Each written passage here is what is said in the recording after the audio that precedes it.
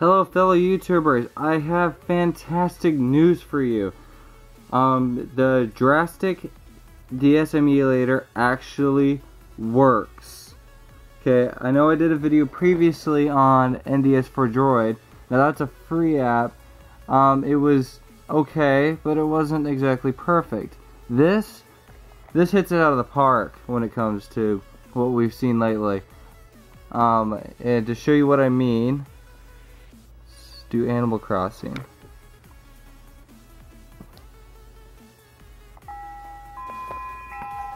Now, just so you guys don't think this is like a hoax or anything, um, leave down in the comments which kind of a um, what kind of a uh, games you'd like me to play, and I will um, look into playing them. Okay. I have Animal Crossing, as you see here, playing at full speed. Now, there's a downside to this app. The downside is, is that it's defaulted to landscape. I don't know whether I really like that or not. It doesn't really bother me so much. I actually like it better at times, but it, it just, it's kind of weird. But I wouldn't say it really annoys me because now I can't accidentally press them down here. Because right, because right now, if I click right here, it doesn't do anything. So it's probably better when you think about it. Um, and it's also defaulted like this. If you want to, let me show you what I mean.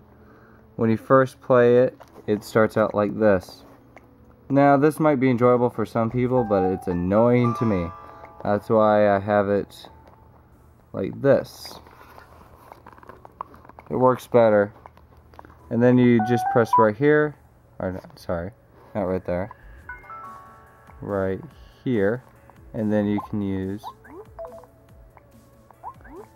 this. And do it like that. Then you can switch between the two. It's really nice. It's fluid. I have not had any lag. And to let me do a very intensive game. We're gonna do Nintendogs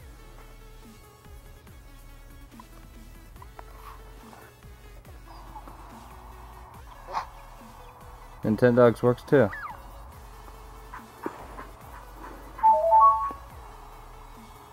As you see, I named my dog Maxwell.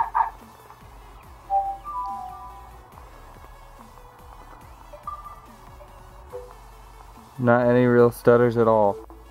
This is actually really awesome. I do not know yet whether you can connect to other DS's or the emulator, other emulators like the way my boy does with Game Boy Advance games. But as soon as I find out, I will leave it in the comment section. Because this app just came out this weekend, I believe. It's actually more enjoyable this way.